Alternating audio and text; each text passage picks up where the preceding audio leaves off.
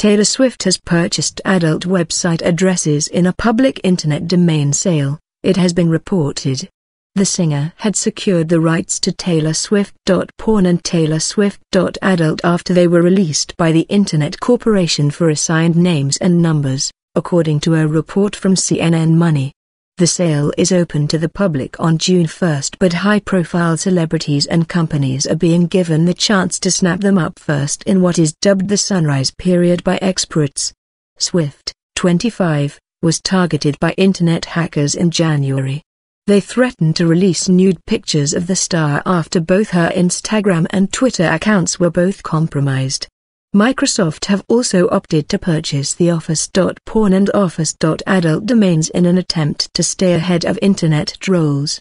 ICANN, a non-profit company, had announced the decision to release further top-level domains,